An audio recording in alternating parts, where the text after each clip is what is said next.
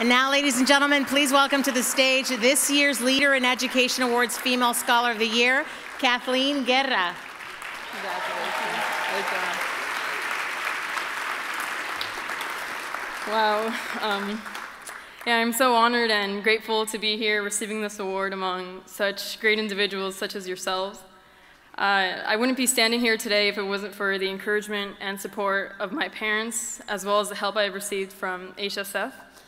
HSF has not only provided me with a generous scholarship that has helped fund my education, but it has also helped me gain the confidence I've needed in order to pursue my goals. Um, through events such as the National Leadership Conference, I have seen what the outcome of hardworking and dedicated Latinos looks like.